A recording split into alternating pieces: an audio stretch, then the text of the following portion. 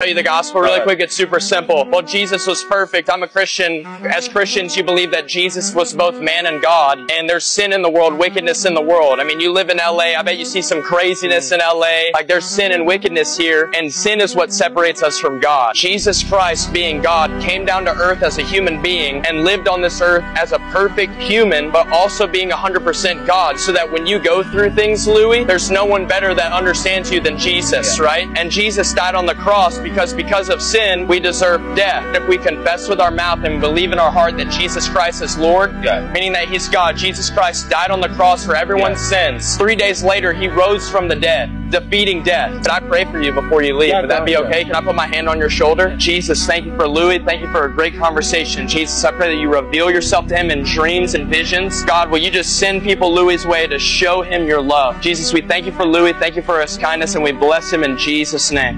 Amen. Amen.